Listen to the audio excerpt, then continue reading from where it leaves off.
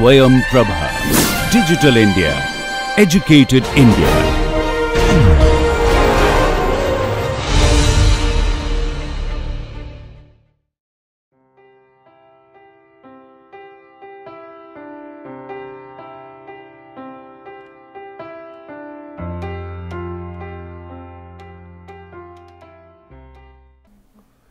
Welcome back to my course aspects of biochemical engineering. Now today uh, I think last couple of lectures uh, I try to discuss transport phenomena. As I uh, as I told you that uh, transport phenomena is very important uh, uh, that unit operation process that is involved in chemical and biochemical industries. Now, this transport phenomena that comprises of transfer transportation of the different transportation mechanism of the process. And this uh, and three different mode of uh, transfer phenomena is there. One is momentum transfer and there is mass transfer and there is energy transfer or heat transfer. Now, we already discussed the momentum transfer which uh, which deals with mostly the flow of the fluid and through through the flow of the fluid we can have the mixing of the of the liquid mixing of the solute in the liquid. And uh, and also it it involves the mixing time determination. In the last uh, lecture uh, we try to find out what is the uh, power minimum power requirement for the for the minimum mixing time. That you know those kind of information we can generate from that. After that I, I try to discuss the heat transfer or um, um, the heat transfer basically it is very important in the in the biochemical industry because because because it, it, it required the environmental parameter for the microorganism plays very vital role. Uh, one, one important parameter is the temperature and uh, and as we know that uh, the biochemical reaction mostly they are exothermic in nature. So, exothermic means heat liberating that you know that uh, process that we have and most of the biochemical process usually operated in between 30 to 35 degree centigrade. So, particularly when we are since we are in the tropical country our ambient temperature particularly in the summer season is quite high. So, we required a lot of cooling arrangement particularly during summer season. And for winter season we we required some kind of heating uh, of the of the the fermenter to maintain the temperature. Because those thing is very, very that you know we determine on the basis of heat transfer. And this heat transfer also involves the sterilization of the process.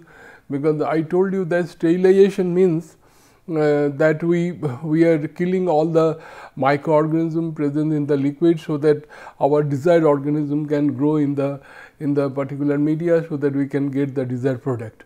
So, uh, so heat transfer plays very important role in the last uh, uh lectures I try to discuss the heat transfer how we design the length of a uh, that cooling uh, coil and also the temperature of the outgoing liquid in the cooling coil. So, those those problem we try to solve in the last lecture. Now, today I am going to discuss another very interesting topic what you call mass transfer and mass transfer it is always uh, required uh, usually take place uh, the transfer of the mass uh, between the phases. As for example, that uh, we know that most of the microbial fermentation process they are aerobic in nature and aerobic fermentation process we required uh, dissolved oxygen because in the fermentation media because microorganism can utilize the oxygen which is dissolved in the fermentation media. So, that uh, plays very important role. So, so how we increase the dissolved oxygen concentration is pass the air through the media so that uh, the air oxygen present in the air as it transferred in the liquid. So, that that part I say I am going to discuss today. Now, first let me discuss that what is what do you mean by mass transfer. Now, here you see that mass transfer basically uh, it is the transfer it is the net movement of the mass from one location usually the meaning of stream, phase or fraction or component to another. So, I, I, I was talking about suppose this is a vessel and this is a liquid we have we are sparging air. So, uh, air, air bubble is going out this is air in and so when it goes then oxygen present in the air that goes to the liquid that is the so this is remain oxygen present in the gaseous form gas, gaseous phase and it coming to the liquid phase. So, this kind of example that we have then mass transfer plays important role in the aerobic culture where oxygen is purged downstream processing and other downstream processing like crystallization. Crystallization we know that you know crystal um, that crystal formation that means from the soluble uh, liquid that at low temperature the crystal formation take place. I can give a very typical very easy uh, the simple instance that is the sugar crystals we can if we keep it at low temperature then crystallization of the sugar that take place. Then we have distillation there also we, we, we distill the liquid from one phase to other that uh, from uh, we, we liquid to vapor and evaporation etc. Mass transfer effect plays a very important role in the immobilized um, and whole cell system. This also I discuss when I when I uh, discuss the immobilized enzyme and immobilized whole cell system and I told you that particularly uh, that in case of enzyme uh, suppose we are handling the soluble enzymes and uh, major drawback of the enzymatic uh, process is that after the reaction is over uh, that uh, enzyme remain and impurities in the reaction mixture. So, you have to you have to you have to you have to purify you have to take the enzyme out from the reactor that is again that incurred some additional expenditure. So, by this can be avoided by using immobilized enzyme because if you if you fix the enzyme on a solid matrix and pass the substrate through the column your substrate will be converted to product. So, you do not like you do not have to separate the uh, the enzyme from the liquid mixture. But the problem is that as soon as you immobilized the the soluble enzymes will, will, be, will fix on the solid matrix the insoluble solid matrix. So, it is a heterogeneous system and heterogeneous system I told you that uh, the heterogeneous system major factor that plays important role that is the diffusion problem. So, that the mass transfer effect is very important in the immobilization enzyme and the whole cell system. Now, what do you mean by molecular mass transfer? This, uh, this is a very, uh, very simple example I have given. The net movement of the molecules or atom from a region of high concentration or high chemical potential to the region of low uh, concentration potential like this. Suppose uh, here uh, some concentrated you know that uh, solute is there or solution is there. So, if you keep it then slowly slowly is diffused uniformly throughout the liquid like this. So, this is this is kind of um, what you call molecular transfer that uh, take place. Now, Fick's law we know this is uh, uh, used uh, for explaining the how this mass transfer take place. The law states that the molecular flux of a space is relative to a observer moving with molar average velocity is proportional to the concentration gradient of the spaces. Uh, so, uh, so what is happening that uh, molar average velocity molar what is the what is the what is the velocity? Velocity is the is the mm, is the uh, length per unit time am i right? So mm, molar average velocity that you know uh, here here actually that depends on the proportional to the concentration gradient of the species. Now, A diffuse let us let us take the example A is diffuse in a binary mixture A plus B and then according to the Fick's law the flux of A can be expressed like this Z A J A is proportional to this is the concentration gradient and this is x is the is, is the is the distance that you know that uh, so the so this is equal to that uh, d in dA in dAb is the is the constant what would be considered as the diffusibility diffusibility or diffusion coefficient. So, ZA that rate of flux of A can be expressed at minus uh, DAB dCA by dx. Now, question why this negative term is coming because concentration of the uh, always movement of the solute they take place from the high concentration to low concentration that is why this negative term has come. Now, this is the, the Fick's law uh, uh, diffusion flux is positive by convection and since the diffusion occurs spontaneously in the direction of decreasing concentration, the negative sign is incorporated. This, this is the high concentration and this is the low concentration. This is how the negative term has come. Now, diffusivity that depends on temperature uh, that uh, like this DA, DAB is proportional to T to the power 3 by 2 by P. So, this is how this is ga gas phase diffusivity another is the liquid phase diffusivity DAB equal to T by mu. This mu is the viscosity of the liquid, here is the P is the pressure of the gas. The role of diffusivity in the bioprocess is the micro scale mixing, solid phase reaction and the uh, mass transfer across the phase boundary. So, three different things simultaneously take place then micro scale mixing, then solid phase uh, reaction and the mass across the phase boundary. Now, let us first discuss the convective uh, mass transfer. The mechanism uh, similar to the free convection heat transfer. I think the last lecture I tried to discuss the difference between the convection and con conduction and the radiation uh, with respect to extinguishing a fire from a water source. So, here that uh, the mechanism is similar to convection the heat transfer in which the density difference causes the by the temperature. So, in case of heat transfer we have temperature difference that is the gradient.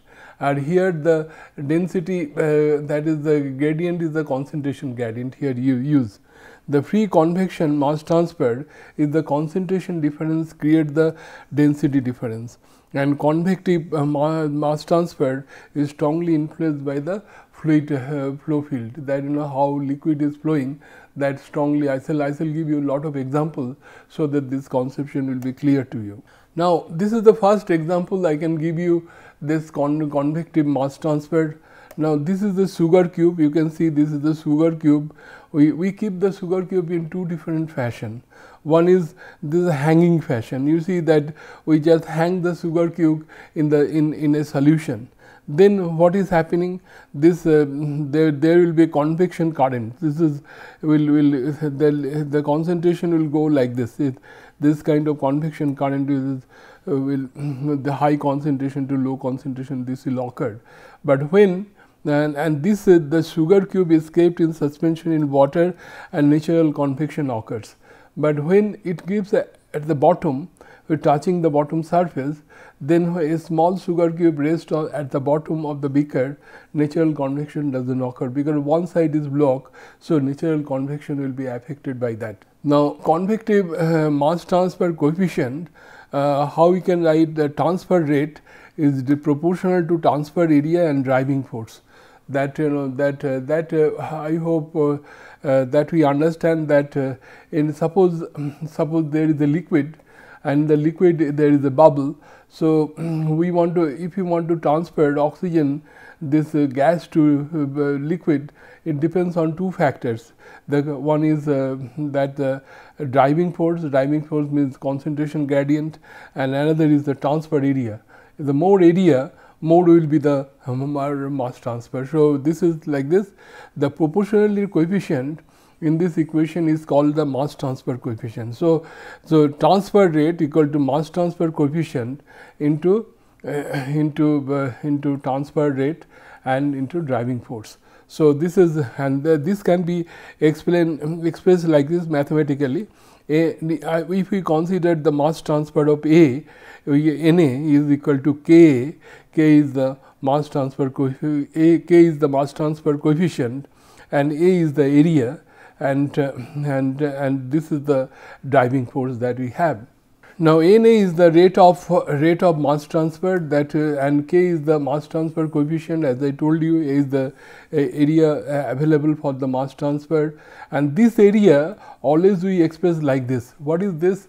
That surface area per unit volume of the of the um, of, the of, of, the particular uh, material that you know that per unit uh, volume that how much is the surface area and CA0 is the bulk surface concentration of A and CAI is the interfacial con interfacial concentration always less than the bulk surface concentration. So, it is CA0 minus CAI.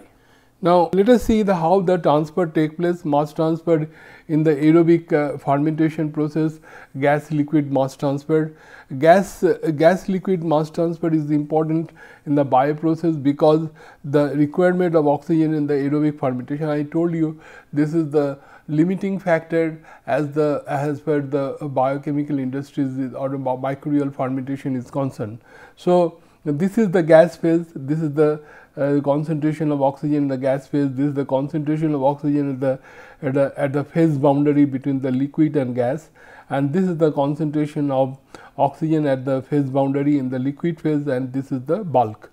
Am I right? Let us assume A is the transfer A transfer from gas phase into the liquid phase and the concentration of A in the liquid phase is CAL in the bulk in the bulk and CALI at the interface I showed you before and in the gas phase it is CAZ in the bulk and CAGI is that the interface. Then what is the rate of mass transfer A through the gas boundary layer is what will be that NAG that mass transfer take place in the gaseous phase is Kg into A minus CAI.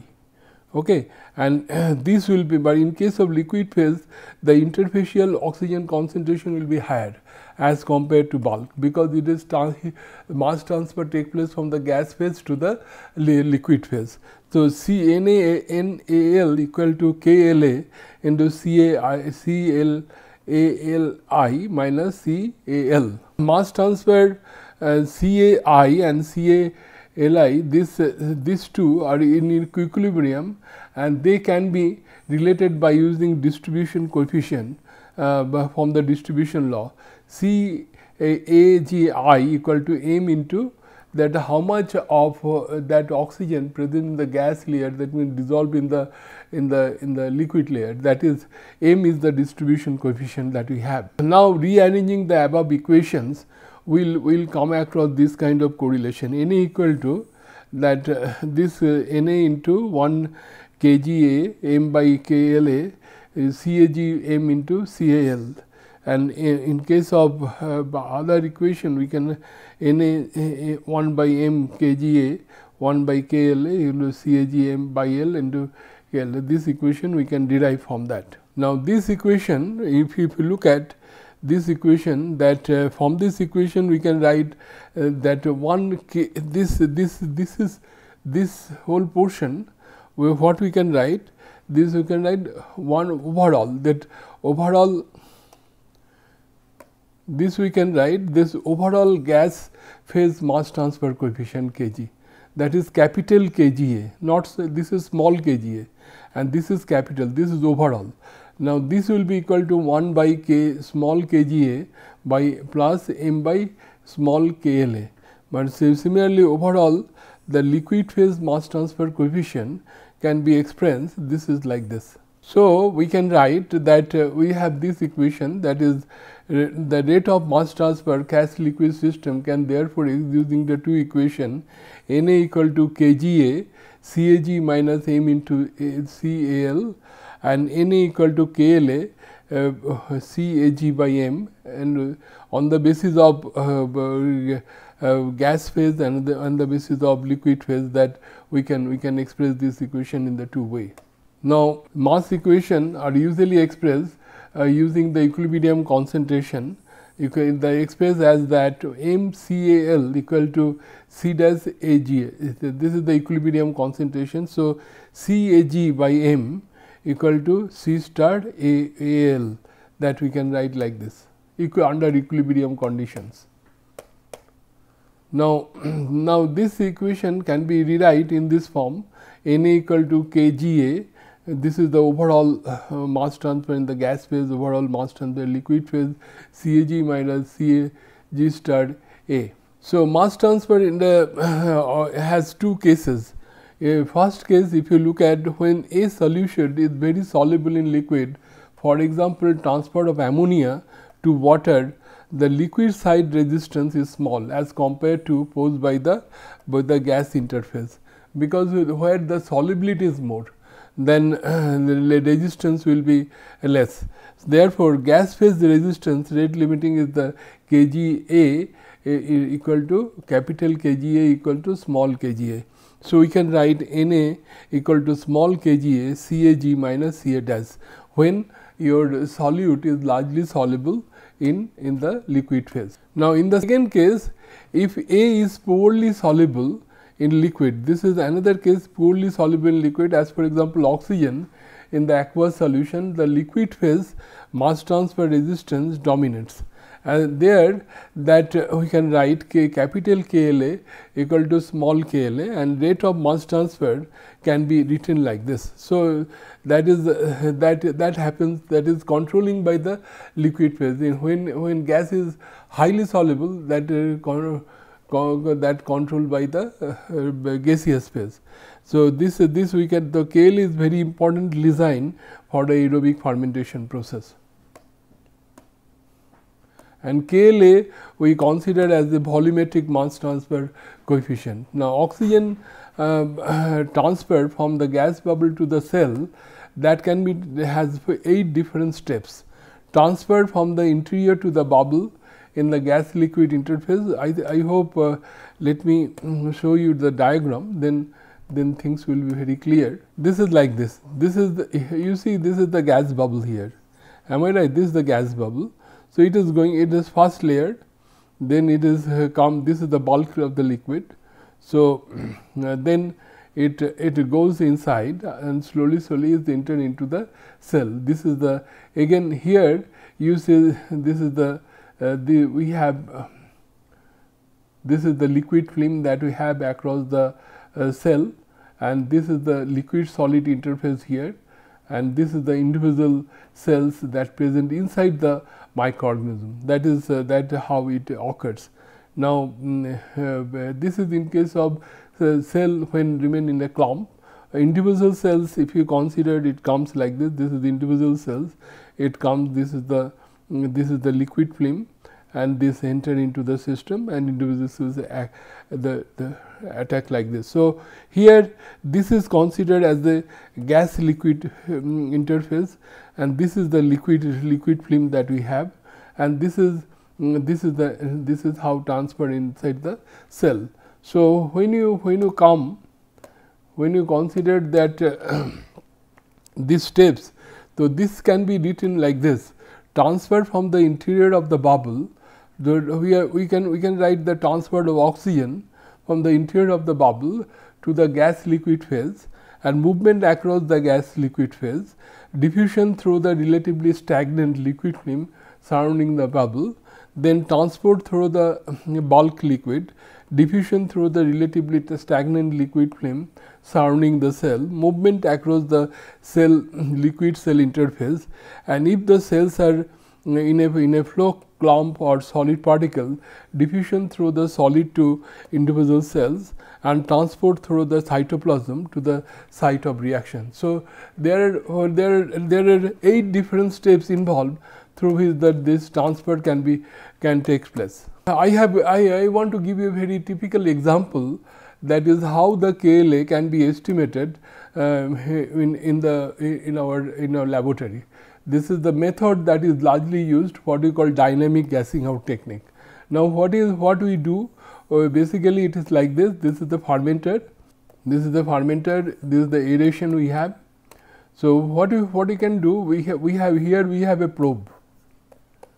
What is the this is called dissolved oxygen DO probe, dissolved oxygen probe.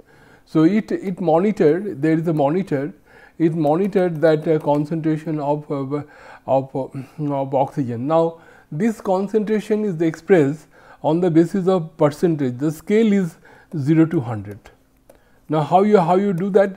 Suppose this is the this is the media, you have taken media and uh, and then what you do you sparge initially you sparge nitrogen, sterile nitrogen, then you take it out then you will find that dissolved oxygen concentration keep on decreasing. And a time will come when it will constant. That is the that you set it is 0. Now, then then then again you sparge this is replaced by air. You sparge air and you will find the dissolved oxygen concentration will increase. A time will come when it will be fixed that will adjust to 100. So, when is 100 that corresponding to the saturated dissolved oxygen concentration. So, what I can if you if you go through any kind of handbook hand uh, chemical handbook you can easily find out at different temperatures what is the dissolved oxygen concentration in water. So, if you know the percentage suppose 90 percent then you just multiply it by saturated dissolved oxygen concentration you will get the what actual dissolved oxygen concentration in the liquid. So, this can be done very easily. Now, here the experiment that we have conducted by using Saccharomyces cerevisiae temperature 30 to 35 degree centigrade air sparks through the media one fraction remain in the broth and certain amount of utilized by the cells growth and rest comes out from the fermenters. Now, rate of mass transfer will be what here rate of mass transfer this is the volumetric mass transfer KLA and this is C star is the saturated dissolved oxygen concentration and Cl is the dissolved oxygen concentration at any time t because any time t that is uh, that expressed as pp milligram per liter and unit of KLA is the time inverse. Now, rate of oxygen consumption how you can write that uh, by the cell it is the Rx uh, if we uh, that uh, if we uh, if we considered that um, suppose if we consider the specific uptake specific oxygen uptake rate. What do you mean by that? 1 by x DO2 by that means gram of oxygen uh, that uh, that utilized per unit time by unit concentration of the cells. Now, um, in a suppose in a particular liquid you have x is the cell concentration. So, how much oxygen rate of oxygen consumption will be there uh, this into x then x x will cancel you will get the rate of oxygen that is consumed in the in the mass. This is called oxygen uptake. So, so what when when you use the any kind of microorganism and sparge here we call the condition is the dynamic. Why is dynamic? Because one is we are what is the purpose of sparging to increase the dissolved oxygen concentration and wh what is the organism is using microorganisms they are utilizing the dissolved oxygen for the growth and metabolism. So, the two things simultaneously take place that is why we call it dynamic. Now, this is this is the equation we can we can we can write the rate of oxygen dissolution or rate of oxygen transferred equal to that uh, that uh, rate of oxygen transferred minus uh, rate of oxygen uptake by the cells. So, in a fermenter this is a fermenter. So, two things simultaneously take place oxygen transferred one is O2 transferred and another is O2 utilized by the cell. So, the difference will get you the how much oxygen that dissolved oxygen concentration increases in the system. So, if you say the under steady state conditions this should be equal to 0 because rate of oxygen transferred should be equal to rate of oxygen used by the cells.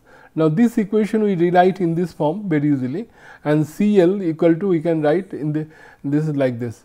Now, here I want to point out that uh, that in this uh, that if you if you plot I shall show you how you can plot that CL versus this one dCl by dt plus Rx into x. So, what kind of plot you will get? Negative slope. This is negative, am I right? This is negative slope and this slope will be what? Slope will be equal to 1 by 1 by KLA, KLA. So, the volumetric mass transfer coefficient we can easily determine if we if we have a slope. Now, I shall show you how you can do that. So, suppose you are carrying out the fermentation, am I right? You are carrying out the fermentation. So, so, uh, so let me let me go to the next slide. Then I think things will be very clear. Now, this is the situation that we have. Suppose in the fermenter, well, suppose this is a fermenter, you, you have media, you have cell in it. So, you put media, you have cell and this is the starter you have, am I right? So, this is moving and this is air, air, air you sparging. So, what is happening that uh, as you sparging air, so initially the oxygen concentration will decay will, will, will, will decrease and then attain the plateau and when is attain the plateau then we put the air off. If we put the air off then what will your you put uh, this you close so you do not allow any air to go inside then dissolved oxygen concentration will, go, will decrease and why it will decrease? Due to the growth of the organism. So, and again again uh, you put the air on here. And when we put the air on we should remember this should be above the critical dissolved oxygen concentration. Critical DO concentration. Am I right? Why? Because what is critical dissolved oxygen concentration? If you if you if you write DO concentration and mu and it is like this now above certain concentration this uh, mu is independent of DO and this is called critical so, this this value always should be this side not this side if it is this side then mu will depend on the dissolved oxygen concentration. Then what you then then you have when you when you put the air on then you will find dissolved oxygen concentration slowly slowly increase and attain uh, increases like this. So, this is the pattern we will get. Now, here here if you draw a sample and find out the what is the cell mass concentration then easily you can find out QO2. What is QO2? That uh, that you know uh, the specific uptake of the oxygen by the cell you can easily find out. And here actually at different uh, point you can find out that DL, DL, DCL by DT because the, the, this is DCL am I right? This is CL, this is CL. So, you can easily find out DCL by DT. If you take a slope here any slope is nothing but DCL by dt. So, so, you can easily find out this slope. Okay.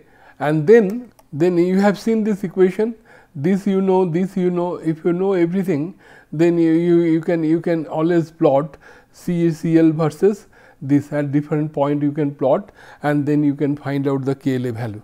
Now, this is exactly how it is done. This I told you this if you plot with respect to CL you will get the KLA value. This is our uh, experimental result in our lab that we, we carried out, we, we, we got these results, the cell mass concentration at uh, 300 rpm. Then we find out the CL, um, the, how the uh, concentration of CL uh, that decreases with respect to time that we can find out this is just to find out the uh, the Rx value that we, can we can find out that specific oxygen uptake by the cells we can easily find out from this then we plot this and we, we, can, we can find out the KLA value.